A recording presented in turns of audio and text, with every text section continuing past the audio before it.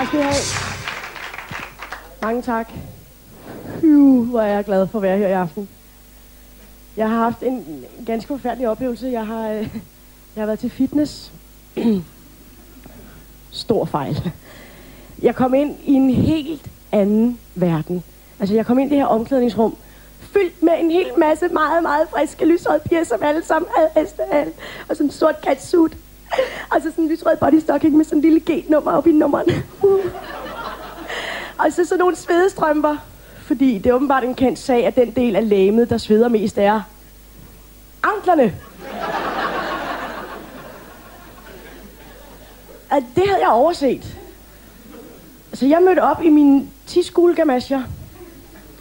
Og en bluse, jeg engang har fået, hvor der står Harzen, die Deutsche Wunderstadt. Jeg faldt lidt igennem. og jeg stod og tænkte, hvorfor? Hvorfor skal alle de her piger se så godt ud? De skal ind i et rum og svede med 20 andre piger. Altså. Men sådan er det jo. Ikke? Piger, vi er jo altid sådan, vi tænker jo altid over, hvad vi har på. Altid sådan noget. Står hver morgen, ikke? Ej. Ej.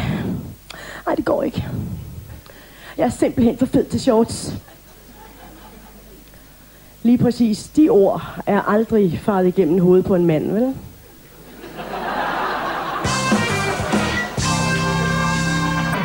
Og det er ikke noget nemmere, fordi når man så er blevet voksen, så er der mange andre helt urimelig svære ting, man skal forholde sig til. For eksempel sådan noget med at få børn. det siger alle jo, man skal, når man er blevet gift og sådan noget. Jeg har det sådan, at jeg godt vente lidt, og... Det er faktisk ikke sådan, jeg har det. Jeg har bare sådan, jeg har så slag for at få børn. og jeg får skæld ud af folk og siger, ej Mette, altså, det kan du bare ikke tillade dig at være. Bare så naturligt at føde det er. altså, ja, det er også naturligt at dø. Altså, det er også bange for, okay? Jeg må have min traumer i fred et øjeblik. Men jeg, jeg er helt vildt bange for det. Også fordi, jeg ved godt. Jeg ved udmærket godt, jeg bliver ikke en af de her yndige, gravide kvinder. Der lige tager 10 kilo på på maven. Nej, nej, nej. Jeg bliver enorm. Jeg bliver så stor, hvis jeg kommer til skade, mens jeg er gravid, så er der arbejde på B&V igen, altså. Jeg går ikke på barsel, jeg går på iværksætterydelse, simpelthen. Og jeg har det her mareridt om, hvordan det kommer til at foregå, ikke? Jeg er ude og købe ind. Vandet går. Og 10 mennesker drukner. En fyr, der hedder Noah, begynder at bygge et skib. Uh, så skal man ind på fødegangen. Fedt nok, der er brede døre. Jeg klarer den lige, ikke? Kommer ind der. Og så skal folk hen og kigge. Mit mest private sted er nu en arbejdsplads.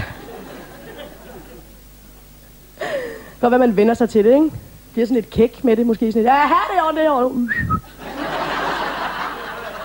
Ja, og du fire med der. I skal det her, du. Det. Ja, han, jo, jo, jo, det. Indtil der står en ung forfjamsket fyr foran en og siger, undskyld, jeg hedder Jens, jeg er langtidsleder, jeg tømmer Askebær. er det ikke rigtigt, vi har alle sammen gået i klasse med en nørd? Tænk, hvis jeg får en nørd. Åh, oh, nej. Sådan et barn, som sådan kommer hjem fra skole og siger, jeg bliver drillet. Det kan jeg godt forstå. For sådan et barn, der, der selv vil have lugteost og makrelmad med på madpakke, ikke altså? Oh. Og så skal børn, børn skal jo i skole og sådan noget. Ja, fedt. Og hvad lærer man der, spørger jeg så. Altså, jeg har lært mange forfærdelige ting. Jeg har for eksempel brugt et år af mit liv på at have metalsløjt. Brugt et år af mit liv på at lave et skohorn og et askebæger, altså. Som jeg går rundt derhjemme, når vi har gæster, sådan, uh, uh, uh, uh. uh. Ikke flere rene askebæger. Det låner jeg. Jeg henter mine beskyttelsesbriller og svejser et nyt. Du har aldrig brug for det. Eller matematik, altså. Kan I huske eksamensopgaven? Det var altid sådan nogle... Gård Hansen har en mark. Han skal så fire ting på marken. Ærter, bønner, majs og roer. Ja, det frø koster 50 kroner kilo, og så stod der en lang spørgsmål, så stod der, hvad vil du sige til Gård Hansen? Jeg vil sige, kom on, mand bragt lidt lortet og få lidt EU-støtte, ikke? Altså, at kom ind i virkeligheden. Og kan I huske, der er jo videnskabsmænd, der er blevet helt vildt berømte på det her. Kan I huske Pythagoras? A i anden plus B i anden er lige C i anden. Åh. Det vil sige, hvis man ved, hvor lang den side er en trekant, og hvor lang den side er en trekant, oh, så kan man regne ud, hvor lang den side er en trekant. Og hvornår har man brug for det? Helt ærligt, hvor tit har I siddet og målt? Den side i en trekant, den side i en trekant, og så er linealen væk. Der er mange ting, jeg godt gad se. Jeg gad også godt se en reklame, som handlede om virkeligheden. En rigtig reklame. Jeg kan godt se den her reklame. Klokken fire.